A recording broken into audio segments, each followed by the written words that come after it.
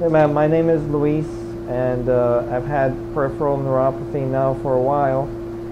And it started very gradually, and um, slowly I, I, haven't been able to do things, and uh, I was basically uh, having to stay home all the time. Um, but then I got the idea of getting a chair that can recline and distribute the weight better so I can feel more comfortable.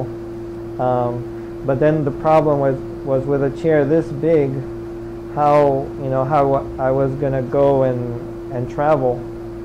Um, so then I had to I had to get a van, and uh, renting a van or, or asking for some kind of a service was going to be very expensive.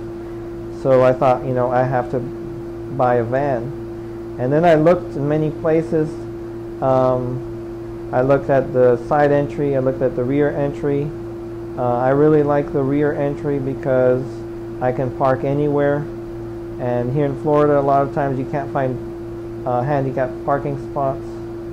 Um, so I think that's great. And I also feel guilty when I get a handicapped spot. So I like to leave it to other people if I can. So now I click here and it already opens the hatch for me. I can already start doing the ramp. And then just I turn around here and and go in.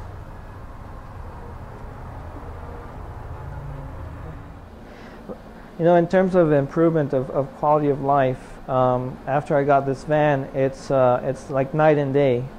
Um, I, I can finally go out of my house, and uh, you know that's a really big deal.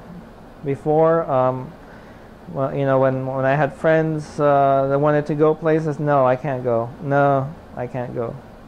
And now it's it's basically no problem.